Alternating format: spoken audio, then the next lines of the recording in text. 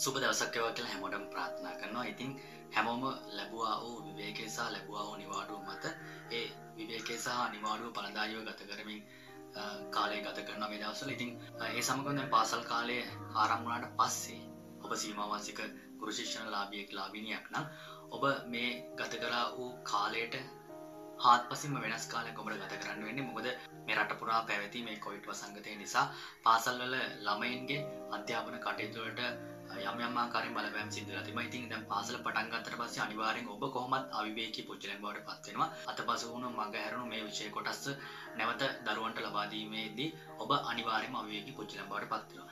ඔබ කොයි ආකාරයෙන් අවිවේකී වුණත් ඔබේ සීමාවාසික කාලය අවසන් වෙන විට ඔබ විසින් සිදු කළ යුතු කාර්යභාරයන් කීපයක් තිබෙනවා. එකක් තමයි ඔබ ව්‍යාපෘති කිහිපයක් සිදු කරන්න ඕනේ. සමහරට ව්‍යාපෘති තුනකට ආසන ප්‍රමාණයක් සිදු කරන්න ඕනේ. ඒ වගේම තව ඒ අතරින් වැදගත්ම දෙයක් තමයි ඔබ අනිවාර්යයෙන්ම කාර්ය මූල පර්යේෂණ වාර්තාව කියන එක නැත්නම් කියනවා ඇක්ෂන් රිසර්ච් එකක් ඔබ සිදු කරන්න ඕනේ.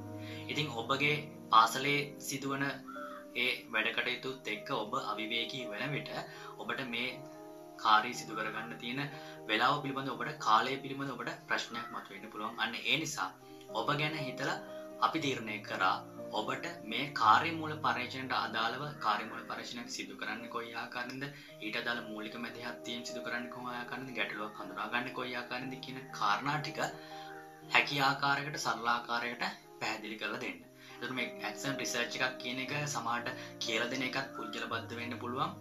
කරන පර්ේෂකය වශයෙන් ඔබත් පුද්ජල බද්ධ වෙන්න පුළුව ඔබ සිදු කරන ආකාරයට ඒක ඔබ ඔබට අනුගත වෙන්න පුළුවන්.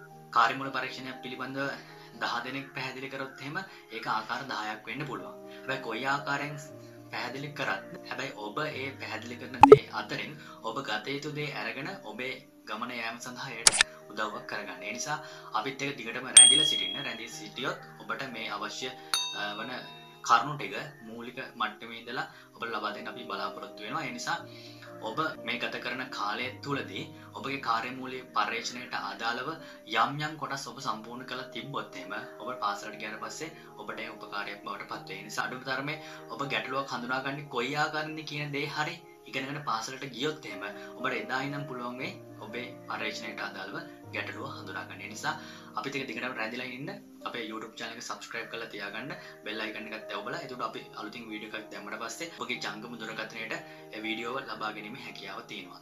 ඒ නිසා මේ ලැබුවා වූ පාසල් නිවාඩුව කාලය සහ ඔබට ලැබුණා ඔය විවේකය ඔබ පලදායිව ගත කළොත් එහෙම ඔබට ඉදිරි දවසක මුහුණදීමට සිදු අවිවේකී බවින් ඔබට යම්තාත් දුරට හෝ මිදීමට අවස්ථාවක් බවට මේ